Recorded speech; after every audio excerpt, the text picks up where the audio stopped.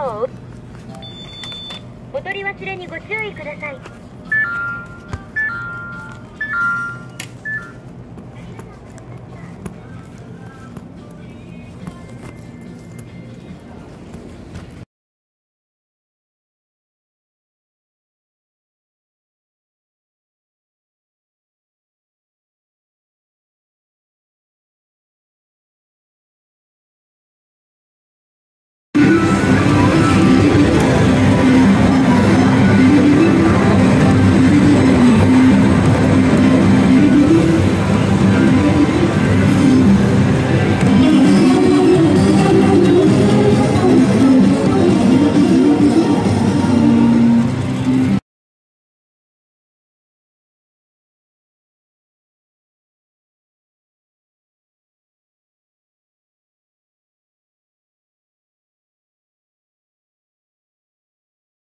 Thank you.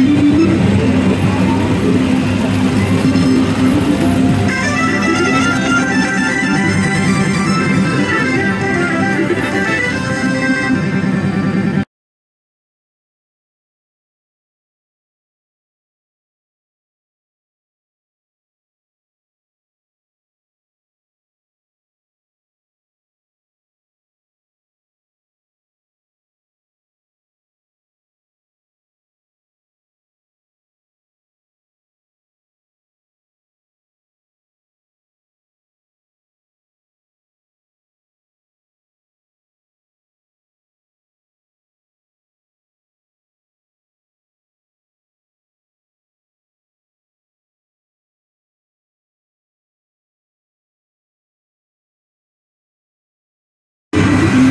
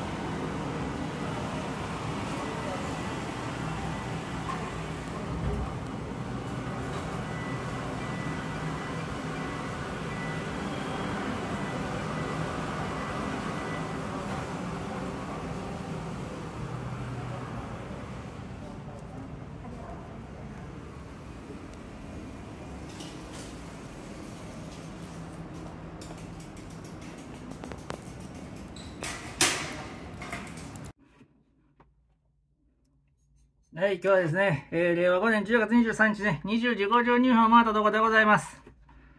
いやー、今日夜勤明けでね、明け休み。えー、今日入れて、えー、4連休。